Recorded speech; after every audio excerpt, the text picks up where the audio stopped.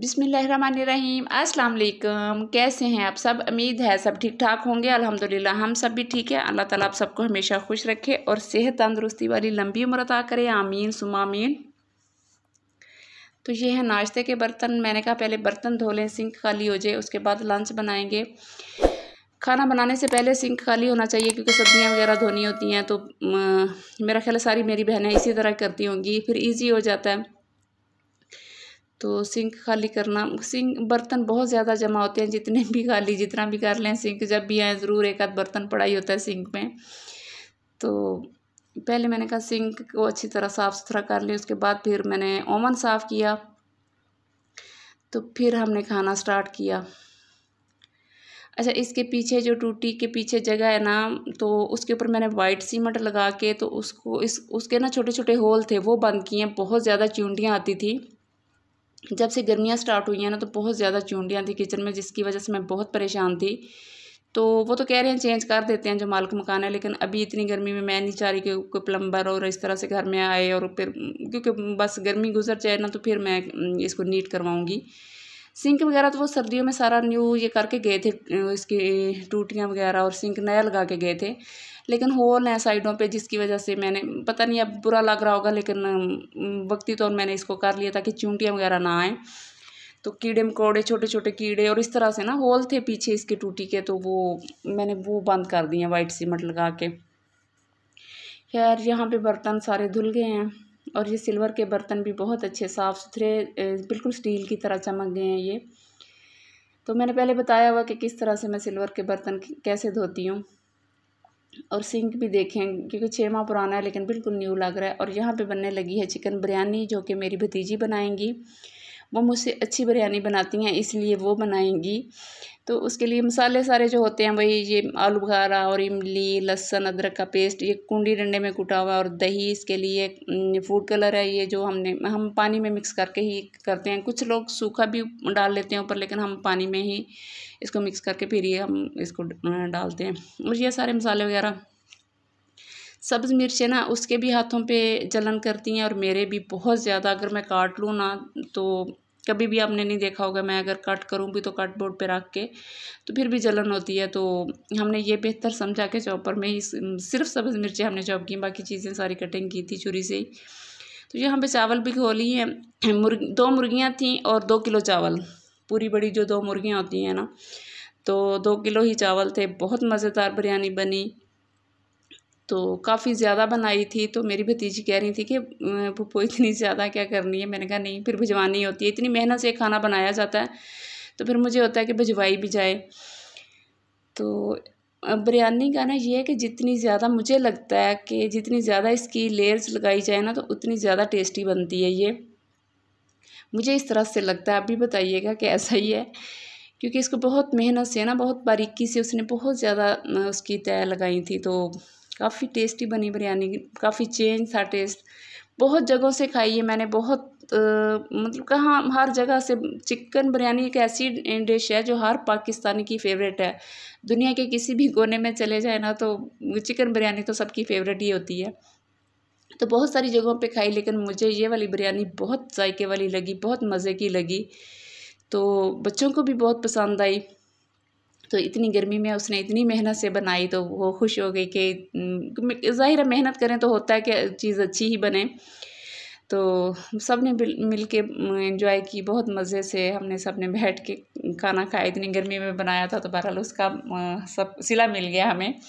मैंने तो खैर कुछ हेल्प की मैंने उसकी, लेकिन जो होती है ना ज़िम्मेदारी से सारा, वो उसी ने किया। मैंने तो कोई नमक, मिर्च कुछ नहीं बताया उसको कि क्या डालो, बल्कि वो पूछ रही थी तो मैंने कहा, नहीं, मैं मैं बर्तन धो रही थी। तो मैंने कहा, मैंने तो आपकी तरफ़ पीछा करके खड़े हो जाना, जो मर्ज़ी करो।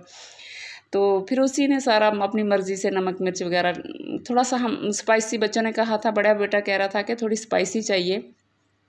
तो फिर बाकी खानों की नस्बत थोड़ी सी ना स्पाइसी थी, बिरयानी स्पाइसी ही अच्छी लगती है। तो इस तरह से ये इसकी सारी लेयर्स वगैरह लगा के ऊपर उसने फिर जो मसाले वगैरह होते थे, सब्ज़, मिर्ची वगैरह काट के सारी डाल ली। क्योंकि ये बारीकी का काम होता है, काफ़ी मेहनत का होता है। आम सालन जो होते हैं या पुलाव, वो तो जल्दी जल्दी बन जाता है। इसके लिए बर्तन भी बहुत ज़्यादा होते हैं।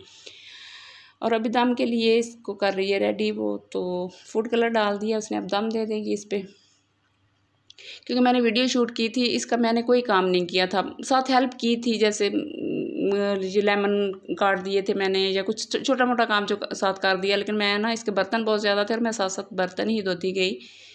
तो ये इसने फिर दम पे इस तरह से रख दिए थे।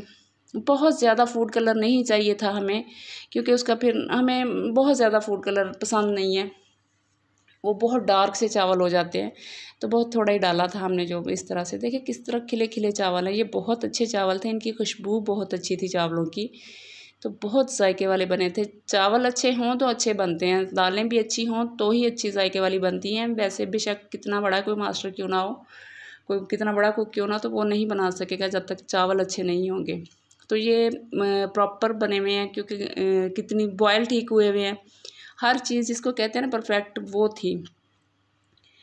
तो फाइनली यहाँ पे आ गया खाना, हम सबने खाना खाया, उसके साथ जो कोल्ड ड्रिंक वगैरह होती हैं वो भी थी और मीठे में कुछ नहीं था क्योंकि वो फिर हमें कुल्फ़ी चाहिए थी। जब तक गर्मी है ना तो हमने तकरीबन ना एक दिन छोड़ के या डेली भी कभी कुल्फ़ी आ जाती है। तो अब मैं आपको दिखाती हूँ मैं क्या लेके आई हूँ, जिस तरह अपनी फैमिली को खाना खिला पिला के फिर कहते हैं ना कि बाद में दिखाते हैं हम क्या पहले खाना खा लें, फिर दिखाते हैं। तो वैसे मैं आपको कह रही, मैं आपको बाद में दिखा रही हूँ खाना खा पी के। तो इसके पर इस तरह से होते हैं, मैं भूल जाती हूँ, फिर मुझे आपके सामने ये कट करने पड़ते हैं। कैमरा ऑन कर लेती हूँ मैं तो फिर मैंने कहा चले, इतने ये लॉक किए हुए होते हैं, इन्होंने पता नहीं क्या खजाना छुपाया हुआ है।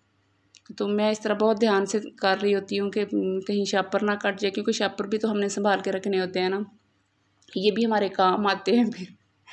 इनके शापर अच्छे होते हैं हमें, और फेंकने को काट के या तो फाड़ फूड़ के फेंक दें या फिर इसको, इस तरह से कटिंग करके इसको संभाल के रख लें। मैं शापर भी इस तरह से तय करके रखती हूँ।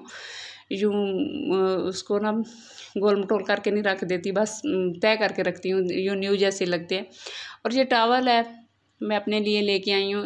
इस तरह से ना जब बाल में बांधती हूँ ना नहा के तो फिर बहुत बड़ा सा टावल जो होता है ना, वो इतनी देर तक वो उठाए फिरें साथ। तो ये छोटा सा है बिल्कुल। तो इसके साथ ना बटन भी लगा हुआ है इस टावल के साथ। ये किचन के लिए मैं कुछ चीज़ें लेके आई हूँ। ये स्प्रे जितनी यूज़ होती है तो इसकी फिर ये ख़राब हो जाते हैं, इसके स्प्रिंग भी। ये मैं अपने लिए लेके आई हूँ शूज़। तो मुझे लगा यहाँ इसका है, इन्होंने जो किया हुआ तो खुल खुल ही नहीं रही थी। देखें किस तरह से पैक करते हैं। हर चीज़ इस तरह, सिर्फ़ वहत यही मॉल है जो इस तरह से चीज़ें पैक करता है। बाकी तो कोई इस तरह से मुझे नहीं लगता बाहर भी, कहीं पे भी नहीं करते ना इस तरह से। तो पता नहीं इस मॉल का क्या है।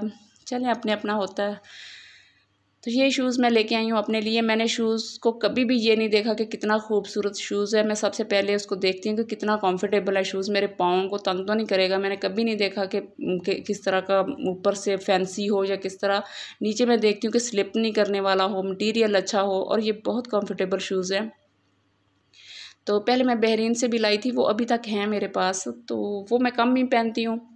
तो अब मुझे मिल गए हैं। ये भी इसी स्टाइल के मैं पहनती हूँ ज़्यादा। तो शूज़ मैं पाकिस्तान से लेके जाती थी। जब भी मैं आती थी ना तो ये स्टाइल और बोरजान, ये शूज़ हमें पसंद है। वहाँ के तो ज़ाहिर है, बाहर के तो ये ब्रांड नहीं थे।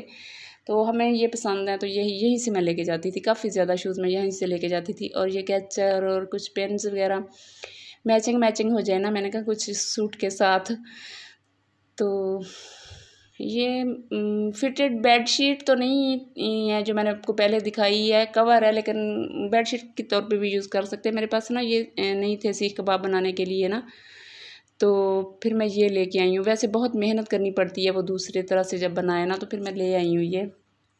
इसकी भी ज़रूरत पड़ेगी।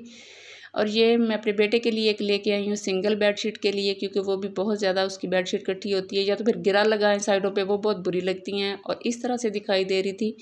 इसको बेडशीट के तौर पे भी यूज़ किया जा सकता है और ये मैट्रस कवर मैं तो यूज़ करूँगी, इसके ऊपर मैं बेडशीट बिछाऊँगी। क्योंकि एक पहले थी ना तो वो मैं धोने के लिए मैंने उतारी तो फिर ये मेरे पास थी, मैंने कहा दूसरी होनी चाहिए, जब तक वो धुल जाए तो एक दूसरी बिछी भी होनी चाहिए और ये हमारे कपड़े भी यहाँ पर सिल के आ गए हैं सबके। तो दो तीन सूट सिलवाने थे जो टेलर से आने थे, मेरा भी और बेटे का भी, और कुछ हमने जो ले लिए थे, हमें फिर मिल गए थे। मैंने बताया था आपको कि सिले सिलाई भी मिल गए थे। ये मेरे बेटे का इस लाइनिंग वाला काटन शायद किस तरह से आपको, किस हद तक दिखाई दे रहा हो डिज़ाइन तो इस तरह से है ये।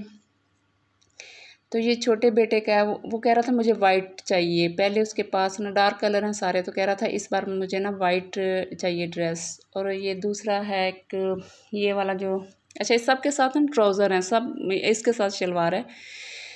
तो ये सी ग्रीन कलर है तो बस यहीं तक था मेरा आज का ब्लॉग। वीडियो अच्छी लगी तो चैनल को सब्सक्राइब करें, शेयर करें। Thank you for watching. Allah हाफिज़।